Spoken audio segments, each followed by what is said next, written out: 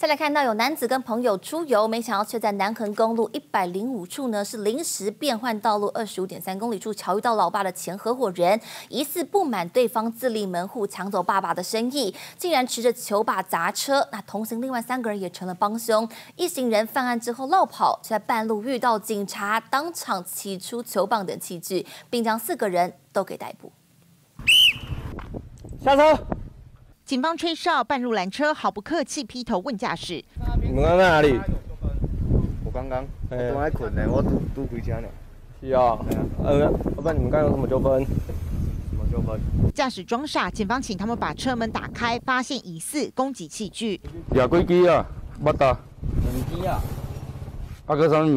原来在前一秒，黑色轿车驾驶及乘客和另一辆修理车驾驶发生行车纠纷，动手砸车，修理车玻璃全被砸碎，车内布满碎屑。经调查，魏姓被害人曾与陈姓祖贤父亲共同从事旅游车业，后来魏男自行独立门户，疑似因而引起陈贤父子心生不满，认为影响其生意。那陈贤自称啊，与魏男有多次行车纠纷，在十二日伙同三名友人。